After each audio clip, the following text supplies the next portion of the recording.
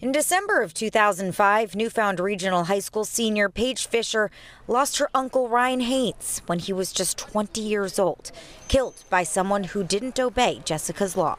It's very sad to see how many teenagers do not obey this law, that how much they are putting not even on not even knowing that they're putting themselves and the general public in danger. For her senior research project, Paige wanted to raise awareness, so she created this sign.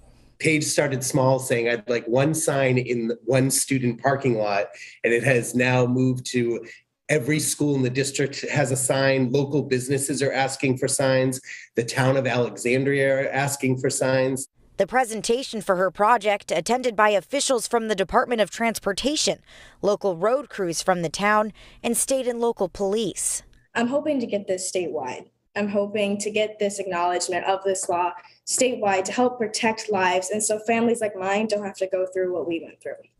As for how Paige's family feels about her accomplishment, they've been saying how proud they are.